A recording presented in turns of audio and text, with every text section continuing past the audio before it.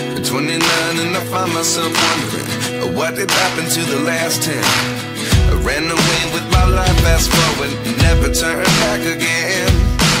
Xin chào quý vị và các bạn. Quý vị và các bạn đang theo dõi kênh News 247. Tại đây chúng tôi liên tục cập nhật những thông tin thời sự mới nhất trong nước và quốc tế. Ngay sau đây, mời quý vị và các bạn cùng chuyển sang phần nội dung chi tiết của bản tin ngày hôm nay. Việt Nam Trung Quốc ký kết 36 văn bản thỏa thuận hợp tác. 36 văn bản thỏa thuận hợp tác đã được các ban bộ ngành trung ương và địa phương ký kết trong chuyến thăm cấp nhà nước tới Việt Nam lần này của Tổng Bí thư Chủ tịch nước Trung Quốc Tập Cận Bình.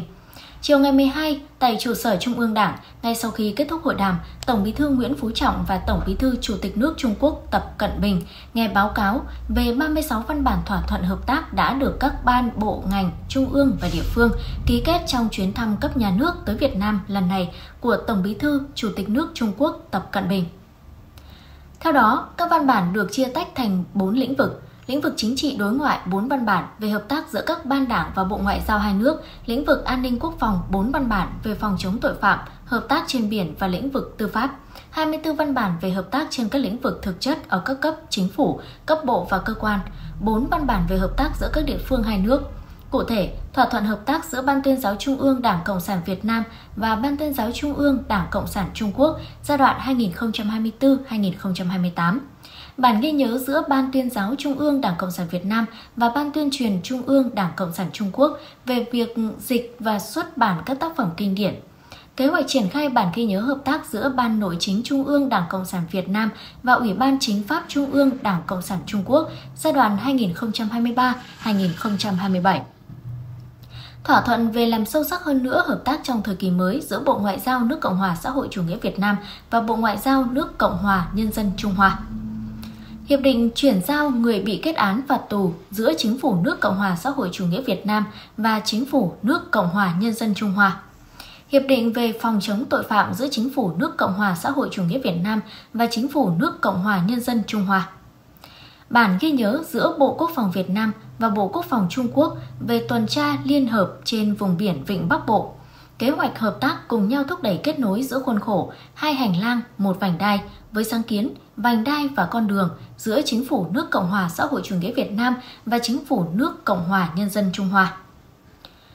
Hiệp định giữa Chính phủ nước Cộng hòa xã hội chủ nghĩa Việt Nam và Chính phủ nước Cộng hòa Nhân dân Trung Hoa về việc cùng xây dựng cầu đường bộ qua sông Hồng, khu vực biên giới Bát Sát, Lào Cai, Việt Nam, Bá Sái, Vân Nam, Trung Quốc. Nghị định thư giữa Chính phủ nước Cộng hòa xã hội chủ nghĩa Việt Nam và Chính phủ nước Cộng hòa Nhân dân Trung Hoa về việc đơn giản hóa thủ tục xuất nhập cảnh cho nhân viên, phương tiện giao thông vận tải, thiết bị thi công và vật liệu xây dựng qua cửa khẩu Lào Cai, Hà Khẩu để cùng xây dựng cầu đường bộ qua sông Hồng, biên giới Bát Sát, Việt Nam, Bá Sái, Trung Quốc. Bản ghi nhớ giữa Bộ Kế hoạch và Đầu tư nước Cộng hòa xã hội chủ nghĩa Việt Nam và Tổng cục Hợp tác Phát triển Quốc tế Quốc gia nước Cộng hòa Nhân dân Trung Hoa về việc tăng cường hợp tác phát triển và thúc đẩy thực hiện sáng kiến phát triển toàn cầu MOU. Kế hoạch hành động giai đoạn 2023-2026 triển khai bản ghi nhớ giữa Bộ Công Thương nước Cộng hòa xã hội chủ nghĩa Việt Nam và chính quyền nhân dân tỉnh Vân Nam, Trung Quốc về tăng cường hợp tác kinh tế thương mại. Kế hoạch hành động giai đoạn 2024-2026 giữa tỉnh ủy Quảng Ninh, Lạng Sơn, Cao Bằng, Hà Giang, Đảng Cộng sản Việt Nam và khu ủy khu tự trị dân tộc Choang, Quảng Tây, Đảng Cộng sản Trung Quốc về làm phong phú hơn nữa nội hàm của quan hệ đối tác hợp tác chiến lược toàn diện Việt Nam Trung Quốc. Kế hoạch hành động giai đoạn 2024-2026 triển khai bản ghi nhớ trong lĩnh vực kinh tế thương mại giữa Bộ Công Thương, nước Cộng hòa xã hội chủ nghĩa Việt Nam và chính quyền khu tự trị dân tộc Choang, Quảng Tây, Trung Quốc. Bản ghi nhớ giữa Bộ Giao thông Vận tải nước Cộng hòa xã hội chủ nghĩa Việt Nam và Ủy ban Phát triển và Cải cách Quốc gia nước Cộng hòa Nhân dân Trung Hoa về tăng cường hợp tác đường sắt Việt Nam Trung Quốc bản ghi nhớ giữa Bộ Giao thông Vận tải nước Cộng hòa, xã hội chủ nghĩa Việt Nam và Tổng cục Hợp tác Phát triển Quốc tế nước Cộng hòa Nhân dân Trung Hoa về tăng cường hợp tác viện trợ phát triển đường sắt qua biên giới Việt Nam Trung Quốc. Bản ghi nhớ hợp tác giữa Bộ Thông tin và Truyền thông Việt Nam với Bộ Thương mại Trung Quốc về hợp tác đầu tư trong lĩnh vực kinh tế số. Biên bản ghi nhớ về hợp tác trong lĩnh vực viễn thông, công nghệ thông tin, truyền thông và chuyển đổi số giữa Bộ Thông tin Truyền thông Việt Nam và Bộ Công nghiệp và Công nghệ Thông tin Trung Quốc. Chương trình hợp tác năm 2024-2025 giữa Bộ Tư pháp nước Cộng hòa xã hội chủ nghĩa Việt Nam và Bộ Tư pháp nước Cộng hòa Nhân dân Trung Hoa. Bản ghi nhớ giữa Bộ Kế hoạch và Đầu tư nước Cộng hòa xã hội chủ nghĩa Việt Nam và Ủy ban Phát triển và Cải cách Quốc gia nước Cộng hòa Nhân dân Trung Hoa. Bản ghi nhớ giữa Bộ Kế hoạch và Đầu tư Việt Nam và Tổng cục Hợp tác Phát triển Quốc tế Quốc gia Trung Quốc về việc tăng cường hợp tác phát triển nguồn nhân lực. Thỏa thuận hợp tác giữa Ủy ban Dân tộc Việt Nam và Ủy ban Dân tộc Nhà nước Trung Quốc. Bản ghi nhớ các yêu cầu đối với việc xây dựng vùng sạch bệnh lở mồm long móng có sử dụng vaccine.